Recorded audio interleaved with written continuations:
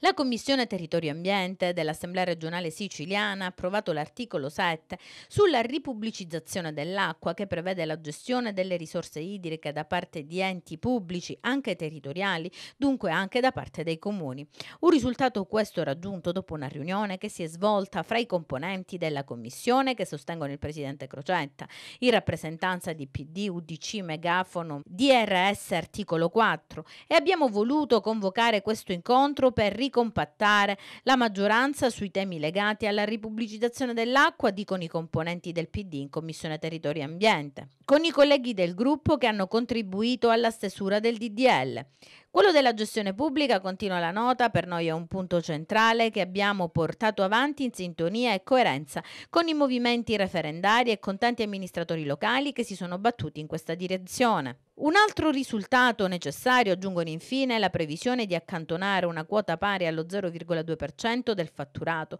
per il sostegno agli utenti meno abbienti.